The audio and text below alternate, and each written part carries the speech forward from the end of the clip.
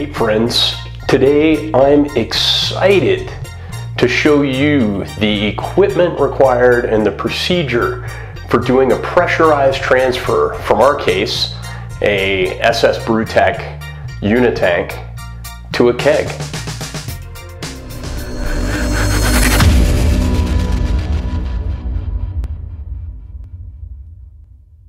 My name is Britt Reed and welcome to Fire and Froth. This channel helps people cook tasty food and brew great beer so we can all grow, learn, and live well.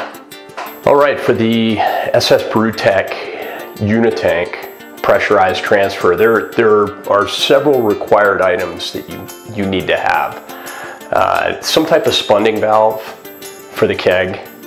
You'll need a sanitized beer line with a tri-clamp and a beer ball lock post on that. And then you'll also need a, a gas line to equalize pressure between both the unitank and the keg.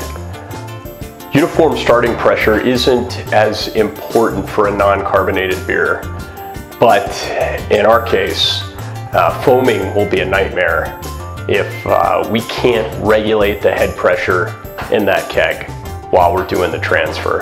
First thing we do is connect the gas lines to the unitank and the keg to equalize the pressure. I basically have a T with two separate connected gas lines running to my CO2 tank. Uh, once, once the pressure is equal between the two, then we're just gonna go ahead and remove the gas line from the keg. Next thing you do is clean the transfer line of trub. So we've got the um, we hook up the transfer line. Uh, it's already been sanitized and uh, we're going to disconnect the ball lock. And then we're going to open the unitank valve uh, briefly just to allow the trub to flow out into a bucket. Then simply close the uh, unitank valve and then reattach the ball valve when complete.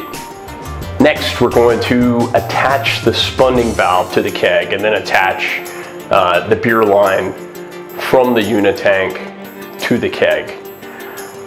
Now you're ready to begin the transfer. This is where the fun begins. Before initiating the transfer, I like to place my keg on a scale. I know that my kegs weigh around 51 pounds when they're full of beer. So open the racking valve and begin the transfer. You'll have to adjust the spunding valve in order to uh, maintain the flow of beer from the unitank to the keg. That spunding valve is critical for ensuring a good transfer rate. Uh, once the keg is the appropriate weight, you're just going to disconnect the ball valve and, uh, and then close the, close the valve on the unitank. Now, once I'm done with that, I like to use CO2 to burp the keg. Uh, so take off your spunding valve, hook up your CO2. Uh, basically, all you're doing is taking that, that, that valve on the top and you're pulling that, pulling that ring several times just so you make sure that it's got a blanket of CO2 on top of that beer. Now you can clean up your equipment, put it away, and uh, you've got the keg that's full of beer, it's been burped. Now it's time to actually hook it up to your keezer or your kegerator and get it ready for consumption. So just hook up that gas line and when you're ready to uh, hook up the beer line, go ahead and hook up the beer line as well and uh, pour yourself a pint.